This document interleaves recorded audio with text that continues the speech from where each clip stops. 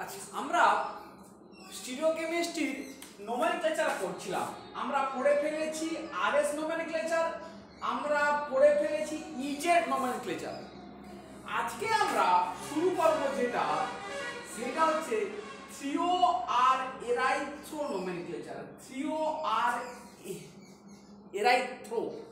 দুটো নতুন term threo T H R E O threo এবং এরাইথ্রো এখন, এই দুটো টার্ম কোথা থেকে এসছে? এ দুটো টার্ম কি করে এলো সেইটা আগে জানা দরকার। প্রথম যে কথাটা, যে এই particular নোমেনক্লেচারটা valid only in Fischer project sun formula এবং মলিকুল হ্যাভিং টু কাইডাল সেন্টার তাহলে দুটো কাইরাল সেন্টার আছে। দুটো কাইরাল সেন্টার ওয়ালা কোনো মলিকুল যদি ফিসার প্রজেকশন ফর্মুলাতে ড্র করা থাকে, তখনই আমরা এই নোমেনক্লেচারটা করতে পারব। তাহলে আমরা একটু এবারে দেখি ব্যাপারটা কিরকমই। না, দেখ সুগার মলিকুল কিছু আছে, পরে জানবি। এখানে সুগার মানে চিনি নয়। যে কোনো অর্গানিক মলিকুল যাদের general formula C X H টুর হোল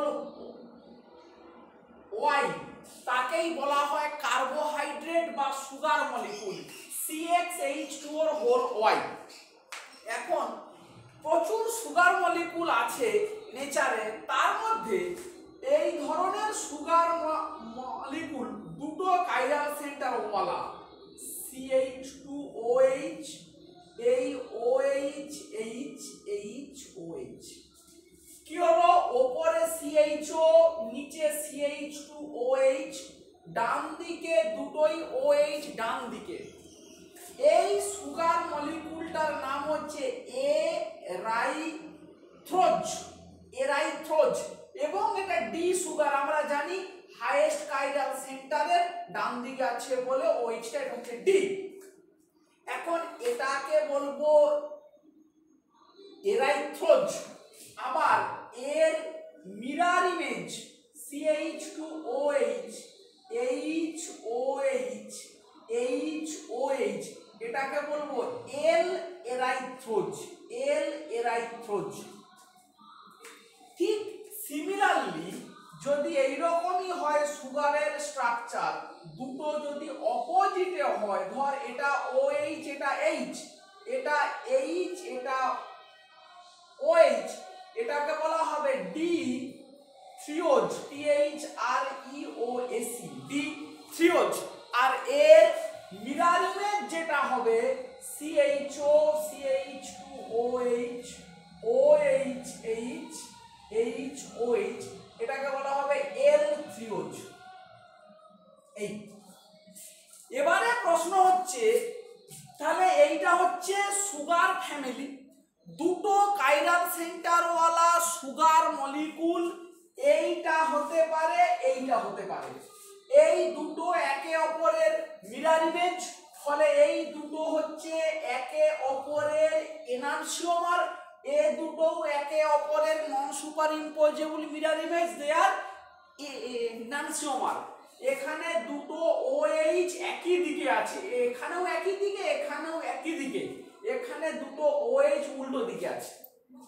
এখন অর্গানিক কে অর্গানিক কেমিস্ট্রিতে এই রকমই দুটো কাইরাল সেন্টার ওয়ালা মলিকুলের কনফিগারেশনকে এইভাবে ফিসারে সাজিয়ে নিলে তার স্ট্রাকচারটা যদি এরাইথ্রোজের সঙ্গে রিজেম্বেল হয় রিজেম্বেল মানে যদি ম্যাচ করে মানে এর মতো যদি হয় মানে সেখানে একই রকমই গ্রুপ মানে লংগেস্ট কার্বন চেনটাকে ভার্টিক্যালি ড্র করে ফেললাম, করে ফেললে এই দিকে হরাইজন্টালি একই রকম গ্রুপগুলো যদি একই দিকে থাকে, সেটা একই দিকে মানে ডান দিকে হতে পারে বা বাঁ দিকে হতে পারে, তখন তার স্ট্রাকচারটা যদি, তখন তার স্ট্রাকচারটা মানে এরাইথ্রোজের সঙ্গে রিজেম্বেল করল মানে একই রকমই হলো।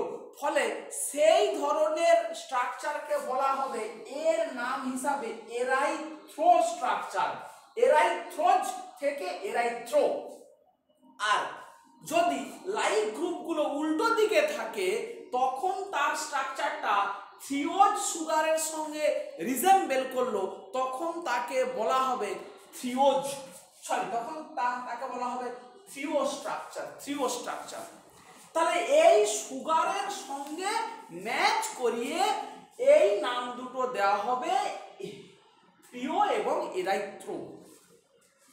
তাহলে আমরা এই যদি আমাদের জেনারেল থিওরিটা হয় তাহলে কিছু কমন অর্গানিক মলিকুলের নাম আমরা ড্র করি আমাদের, যেগুলো প্রায় কাজে লাগবে।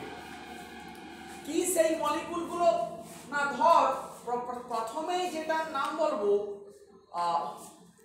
one two diphenyl one two diphenyl one bromo propane দেবে এই ধরনের মলিকুলগুলো one two diphenyl one bromo propane এই মলিকুলটার নাম দিয়ে দিল তাহলে একে দেখ কীভাবে আমরা ড্র করব। একদম বেসিক নিয়ম থেকে সরে যাওয়া যাবে না। কি সেই নিয়মটা? যেই আমাকে বলে দিল প্রোপেন তার মানেই তিনটে কার্বন আছে। ফলে এই এক, দুই, তিন, এক দুই, তিন আগে আমি নাম্বারিং করলাম। ওয়ান এবং টুতে কি আছে? ডাইফিনাইল মানে দুটো পিএইচ গ্রুপ এক এবং দুইতে এই দুটো পিএইচ দিয়ে দিলাম। নেক্সট ওয়ানে কে আছে? ব্রোমো তাহলে এক নম্বর কার্বনে একটা ব্রোমো আছে। আর কিছু নেই? তাহলে বাকিগুলো কে আছে? হাইড্রোজেন তাহলে আমি ম্যাচ করাই। এখানে একটা এইচ এখানে একটা এইচ এই একটা সিএইচ থ্রি তাহলে এই আমার কি হয়ে গেল? না, আমার এই মলিকুলটাকে স্ট্রাকচারটা ড্র করে ফেললাম।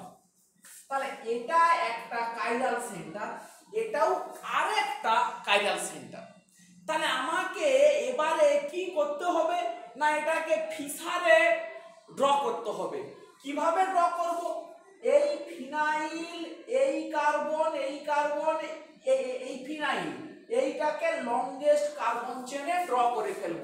মানে এরকমই। পিএইচ এই পিএইচ এইটা।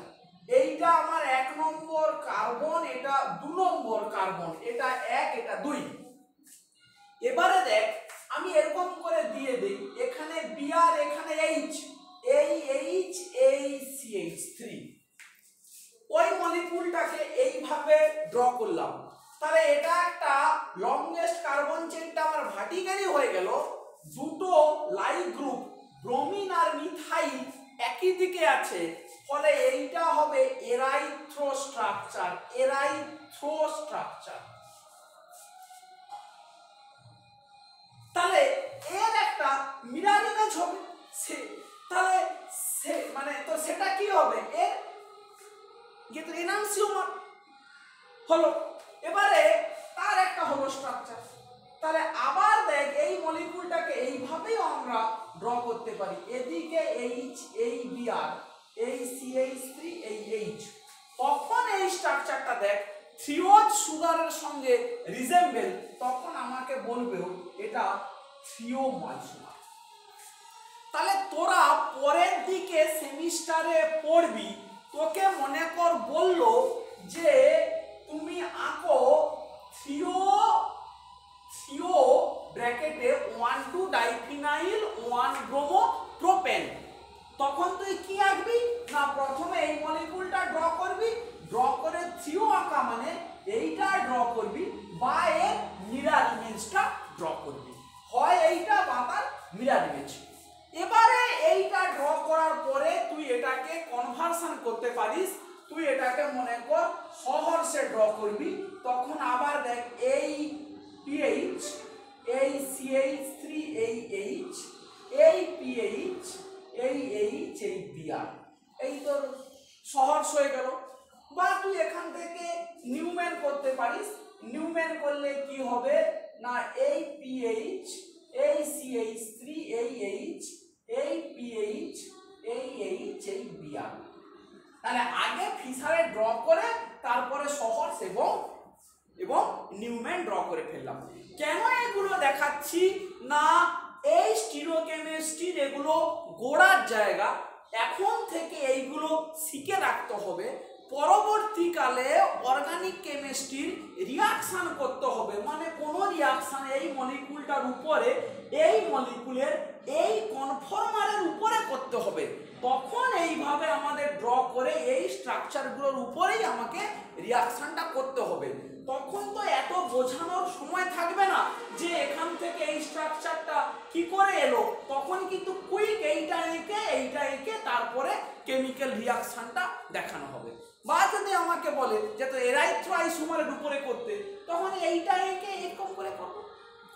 এবারে যদি আমাকে বলে যে এরাইথ্রো আইসোমার আঁকতে হবে এইটার তাহলে এটাও আঁকতে পারি, বা এর মিরার ইমেজটাও আঁকতে পারি মানে তখন এই দুটো উল্টো দিকে থাকবে।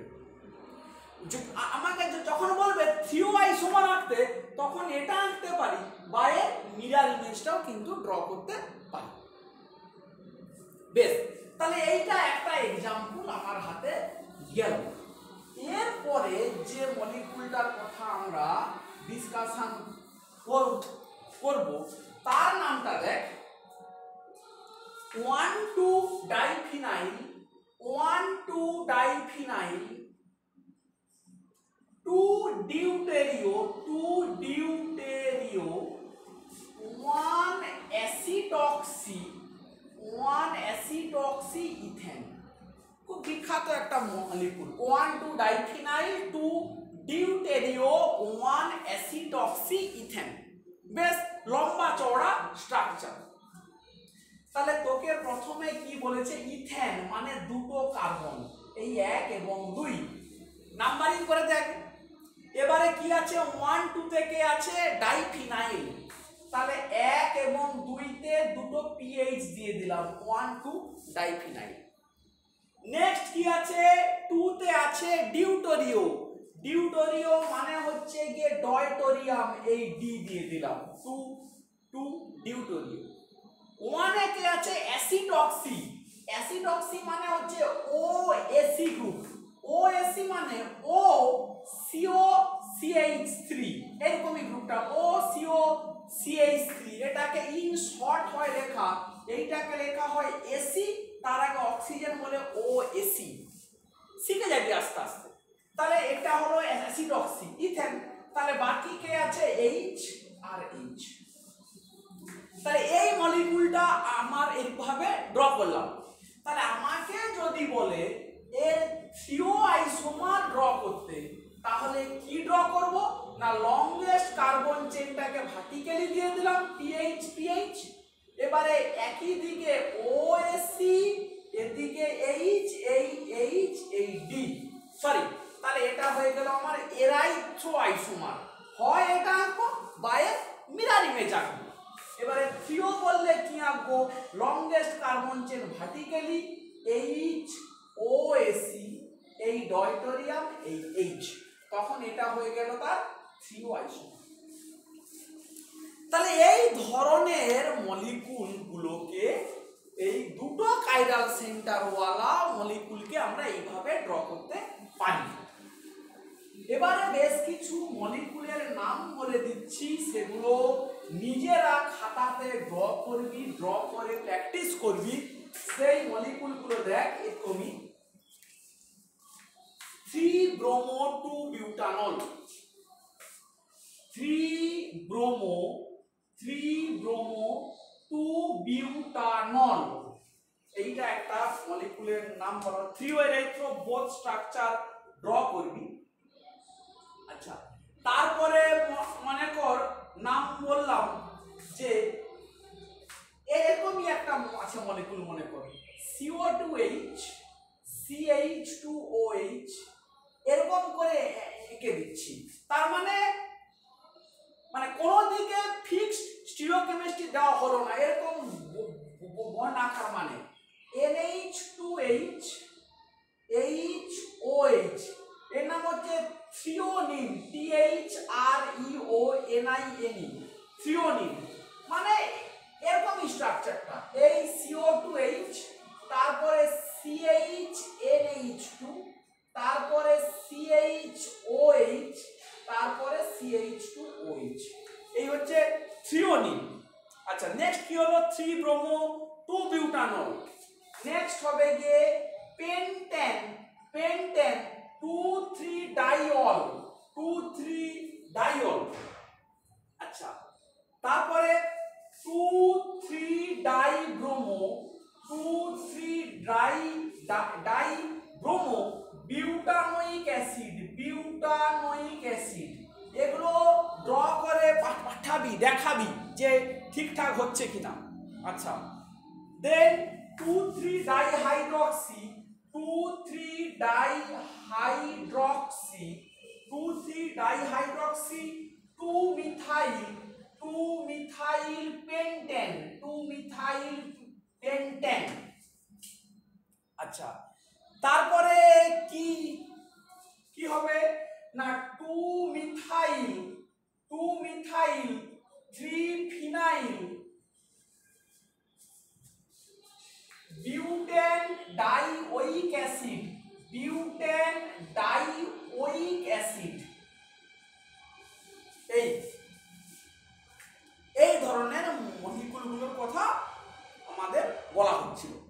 আচ্ছা বেশ আমরা এবারে একটা জিনিস শিখি যে একটা কোনো পার্টিকুলার মলিকুলের এক্সাম্পল নেই, নিয়ে মনে কর এই থ্রিওনিন এই মলিকুলটার এক্সাম্পল আমরা নেই। আচ্ছা থ্রিওনিন মলিকুলটাকে দেখ, তাহলে এই সিও টু এইচ এই এন এইচ টু এই এইচ এই O H H C H two O H এই আমি ড্র করলাম এটা একটা এরাইথ্রো স্ট্রাকচার একটা এরাইথ্রো স্ট্রাকচার ড্র ড্র করে ফেললাম। এখন এখানে এইটা একটা কাইরাল সেন্টার এটা আরেকটা কাইরাল সেন্টার এই কাইরাল সেন্টারগুলোর আরএস নোমেনক্লেচার কীভাবে কীভাবে করা হয় সেটা আমাদের একটু শিখতে হবে।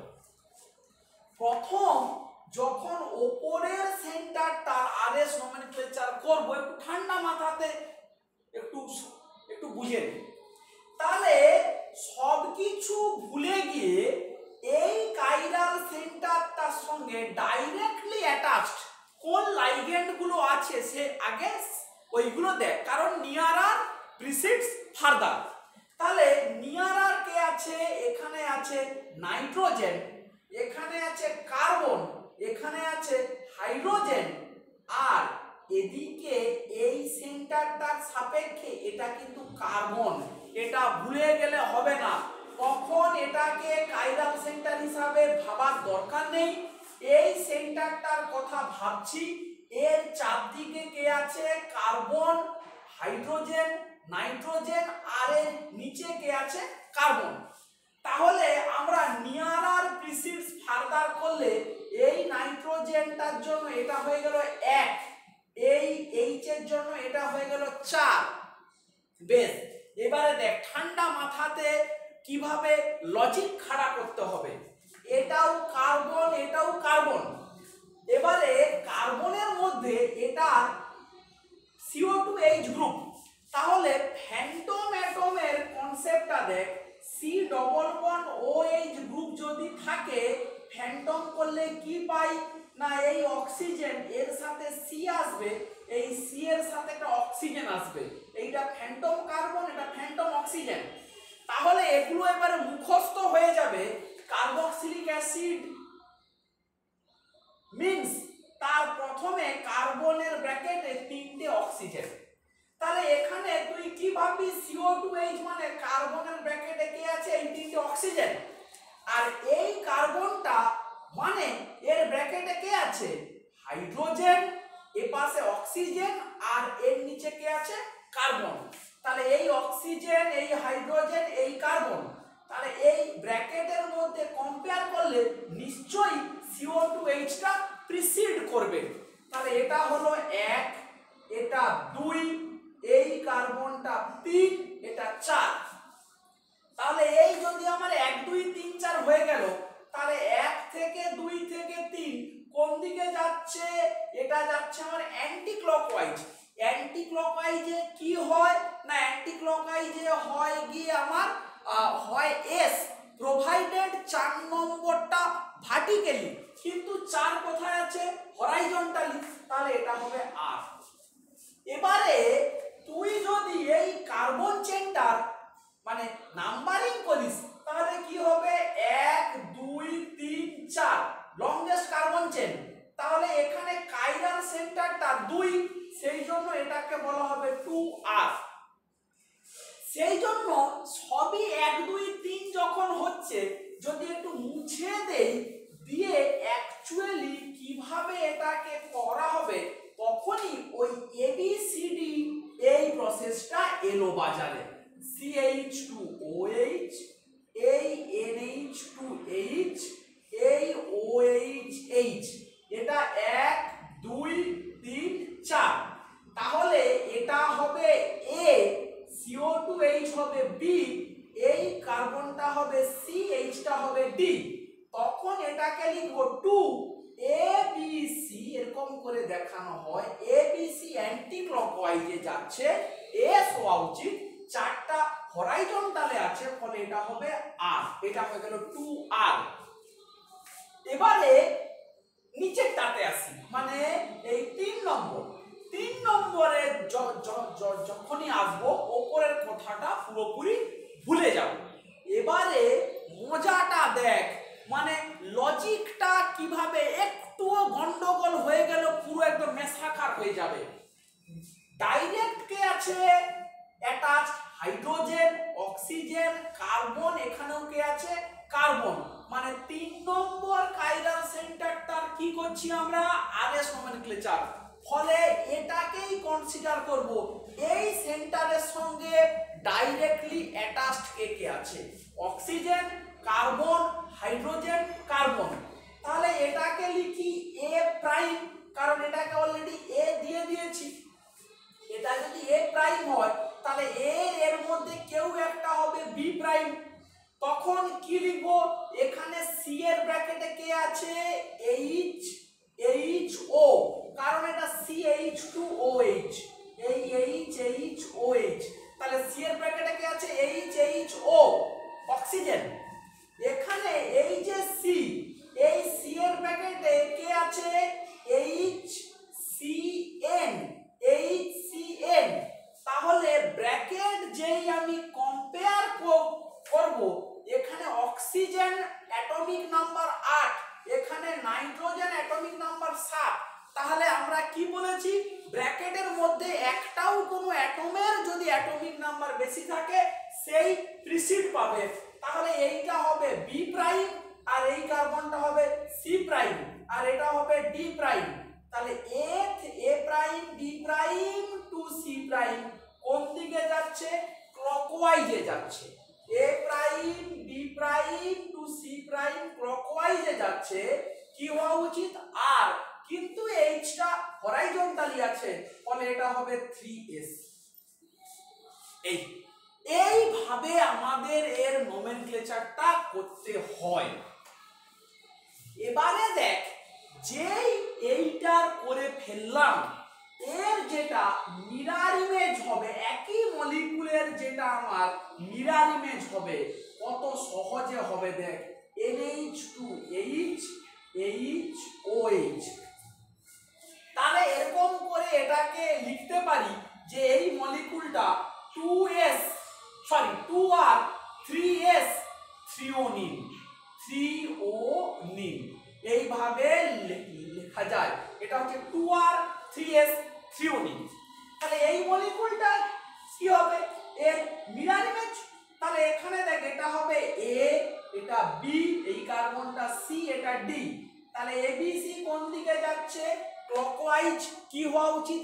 আর কিন্তু এইচটা আছে হরাইজন্টালি ফলে এটা হবে এস ফলে এটা টু এস এবারে এখানে আয় অক্সিজেনটা A prime CH two OH এটা বি প্রাইম আমরা জানি, আর এই কার্বনটা সি প্রাইম এটা D prime A B C প্রাইমটা কোন দিকে যাচ্ছে? অ্যান্টি ক্লকওয়াইজে কি হওয়া উচিত? এস কিন্তু এইচটা যেহেতু হরাইজন্টালি আছে ফলে এটা হবে আর থ্রি আর তাহলে কি হলো? টু এস থ্রি আর ঠিক একদম। এইটাই হচ্ছে নিয়ম। কোনো দুটো মলিকুল যদি তারা মিরার ইমেজ হয় মানে যদি তারা বেসিক্যালি এনানসিওমার হয়, তবে এইটা ঠিক উল্টে যাবে।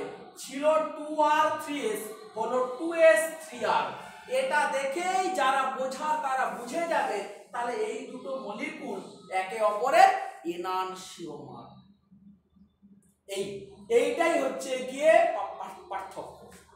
এবারে দেখ, তাহলে এ দুটোই কি? এ দুটোই কিন্তু থ্রিওনিনের এরাইথ্রো আইসোমার যদি এটাকে মুছে দেই, দিয়ে যদি একটা থ্রিও আইসোমার আমরা ড্র করি, তাহলে তার আরএস নোমেনক্লেচার দেখ, এই সমস্ত এই সমস্ত মলিকুলের ক্ষেত্রে একটার শিখে গেলে অন্যটার আর না কিছু করেও ফাঁকিবাজি দিয়ে করা যায়। H NH two O H H এইটা একটা থ্রিও বেশ। এটা থ্রিও থ্রিওনিন তাহলে এইটা দু নম্বর কার্বন, এটা তিন নম্বর কার্বন। এদের আরএস নোমেনক্লেচার নতুন করে আমরা করতেও পারি, আমরা নাও করতে পারি। এখানে দেখ, শুধু এই কাইরাল সেন্টারটার কনফিগারেশনটা উল্টে গেছে, কিন্তু তিন নম্বরের ঠিক আছে। তাহলে নিয়ম মেনে এটা হবে টু এস কারণ দুয়ের একটা উল্টে গেল, ফলে দুয়ের ছিল আর টু ছিল আর টু হবে এস কিন্তু থ্রিটার কোনো চেঞ্জ হবে না। থ্রি এর কনফিগারেশন যা ছিল, সেটাই মেনটেন থাকবে, ফলে এটা হয়ে গেল থ্রি এস ফলে এইটাকে বলব two S three S three ওডি এর যেটা মিরার ইমেজ হবে, এই molecule CO2H CH2OH H NH2 এই OH এইটাকেও তাহলে এর মিরার যেটা চোখ বন্ধ করে এর কনফিগারেশন হবে 2R 3R এই, এইটাই হচ্ছে গিয়ে নিয়ম rule to draw the RS nomenclature of two two chiral centre bearing এরকমই যদি আমরা আরও একটার ক্ষেত্রে একটু দেখিয়ে দেই, তাহলে বেশ সুবিধা হবে। দেখ, এরকম একটা মলিকুল মনে করা আছে। CO2H এই PHH CH3H এই CO2H তাহলে এটা এক, এটা দুই, এটা তিন, এই চার এই আমার লংগেস্ট কার্বন চেন ভার্টিক্যালি এটা হয়ে গেল দুটো কাইরাল সেন্টার এইটা আর এইটা। এদের আমাদের আরএস নোমেনক্লেচার করতে হবে। কি করে করব? না দেখ। তাহলে এই প্রথমে দুয়ের করতে গেলে এখানে সি এখানে ফিনাইল মানে সি এটাও সি এবারে কার্বক্সিলিক অ্যাসিড থাকা মানে আমরা জানি সি এর ব্র্যাকেটে কে আছে? এই তিনটে অক্সিজেন ফিনাইল, এগুলো যেন মুখস্থ থাকে একবারে, পরীক্ষার হলে এগুলো আর ফ্যান্টম করতে গেলে সময় চলে যাবে। একবারে ঝটঝটে যেন মুখস্থ থাকে। ফিনাইল মানে কি হবে? প্রথম সি এর ব্র্যাকেটে সিসিসি কারণ এই ডবল বন্ডটা তুললে সি এখানেও সি তাহলে এই সি এর একটা সি দুটো সি এই তিনটে সি তাহলে এই সি এর ব্র্যাকেটে সি সি সি এই সি এর ব্র্যাকেটে তিনটেই অক্সিজেন আর এই যে কার্বন কে আছে এইচ সি সি কারণ এখানে এইচ সি সি তাহলে আমরা কি লিখব?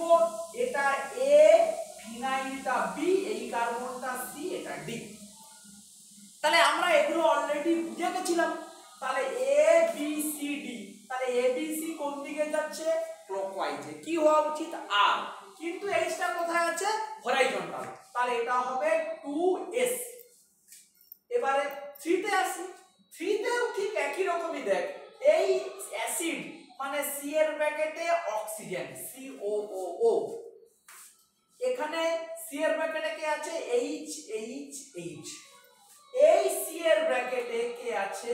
এইচ সি সি তাহলে এটা হবে এ প্রাইম এই উপরেরটা হবে বি প্রাইম এই মিথাইলটা হবে সি প্রাইম দেখ, এটা হবে এ প্রাইম এই এনভায়রনমেন্টটা এই সিটা হবে বি প্রাইম কারণ সি এর ব্র্যাকেটে এইচ সি সি আর এই মিথাইলটা হবে সি প্রাইম এটা হবে ডি প্রাইম তাহলে A prime to B prime to C prime কোন দিকে যাচ্ছে? ক্লকওয়াইজ কি হওয়া উচিত? আর এইচটা আছে যেটা হরাইজন্টাল ফলে এটাও হবে এস এস তাহলে এটা কি হলো? Two S S two S three S এটাকে এরকম করে লিখব two S three S bracket তারপর এটার নাম। তাহলে এর যেটা মিরার ইমেজ হবে, চোখ বন্ধ করে কি হবে সেটা? না two R three R per three R এবারে এর যদি একটা থ্রিও আইসোমার ড্র করি CO two H two H H এদিকে করলাম পিএইচ এই সিএইচ এইচ তাহলে চোখ বন্ধ করে এটাকে লিখব টু আর এটার চেঞ্জ নেই, ফলে যা আছে আছে, ফলে এটা কি হবে? থ্রি এস তাহলে আমরা সামারি করলে কি দেখতে পেলাম? না, এই ধরনের মলিকুল যে যাতে দুটো কাইরাল সেন্টার আছে এবং মলিকুলগুলো কনস্টিটিউশনালি আনসিমেট্রিক্যাল এই টার্মটা খুব ইম্পর্টেন্ট কনস্টিটিউশনালি আনসিমেট্রিক্যাল আনসিমেট্রিক্যাল আপাতত টার্মটা শুনে রাখ। পরের ক্লাসে এটাকে আমরা বোঝাবো। এই য- যত মলিকুলগুলোর কথা বললাম, সবাই কনস্টিটিউশনালি আনসিমেট্রিক্যাল এবং সবারই দুটো করে কাইরাল সেন্টার আছে।